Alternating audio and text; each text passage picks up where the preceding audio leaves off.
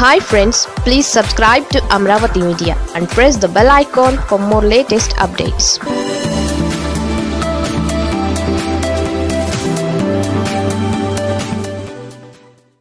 Radha కథ మళ్ళీ మొదటికి. లోకేష్ను కలిసి సాధించిందేంటి వంగవీటి రాధాకృష్ణకు విషయాన్ని నారా లోకేష్ తేల్చి చెప్పేశారు విజయవాడ సెంట్రల్ నియోజకవర్గం టికెట్ కేటాయింపు విషయంలో ఫస్ట్ ఛాయిస్ బోండా ఉమనే అని తేల్చేశారు. ఏ కారణం వల్ల అయినా బోండా గనుక సెంట్రల్ నియోజకవర్గంలో కాకుండా విజయవాడ వెస్ట్లో పోటీ చేయడానికి సుముఖత వ్యక్తం చేస్తే అప్పుడు సెంట్రల్ టికెట్ తప్పకుండా ఇస్తామని రాధాకు లోకేష్ హామీ ఇచ్చారని సమాచారం. పీలేరు నియోజకవర్గంలో పాదయాత్రలో ఉన్న లోకేష్ను వంగవేటి రాధా కలిసిన విషయం తెలిసిందే. మధ్యాహ్నం భోజన విరామ సమయంలో కేరవాన్లో ఇద్దరి మధ్య దాదాపు గంటపాటు భేటీ జరిగింది. సెంట్రల్ టికెట్ విషయం భవిష్యత్ రాజకీయాల గురించి మాట్లాడడానికి రాధా విజయవాడ నుండి పీలేరుకు వెళ్ళి లోకేష్ను కలిశారు.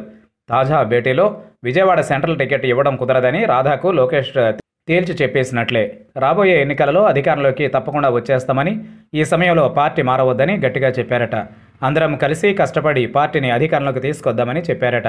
ఒకవేళ సెంట్రల్ నియోజకవర్గంలో కాకుండా వేరే నియోజకవర్గంలో పోటీ చేసే ఇంట్రెస్ట్ ఉంటే ఆ విషయం చెప్పమని కూడా లోకేష్ అడిగారట.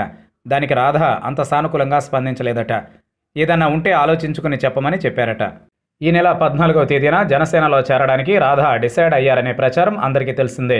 బందరులో జరగబోయే పార్టీ ఆవిర్భావ దినోత్సవం సందర్భంగా పవన్ సమక్షంలోనే చేరేందుకు ముహూర్తం కూడా పెట్టుకున్నారని టాక్ ఉంది.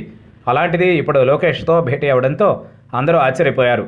మరి తాజా భేటీలో లోకేష్ మాటలకు రాధ సానుకూలంగా స్పందించి టీడీపీలోనే కొనసాగుతారా? లేకపోతే టీడీపీని వదిలేసి జనసేనలో చేరతారా అన్నది చూడాలి.